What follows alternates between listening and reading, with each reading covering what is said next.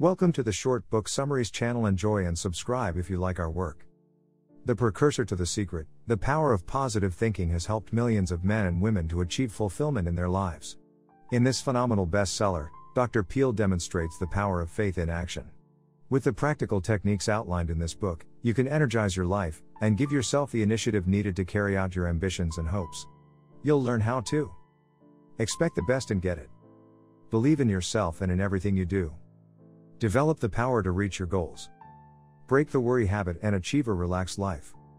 Improve your personal and professional relationships. Assume control over your circumstances. Be kind to yourself. This book, along with Dale Carnegie's writings, started me off on a good path in life. I am not talking about financial reward, although I always felt, after reading Dr. Peale's books, that I was a fortunate person. I didn't have massive wealth and possessions, but I found that I usually was able to obtain what I needed. Many decades later, I realized that having a positive attitude is more than half the battle in life. I never wanted to be filthy rich, I was seeking happiness in this very uncertain world.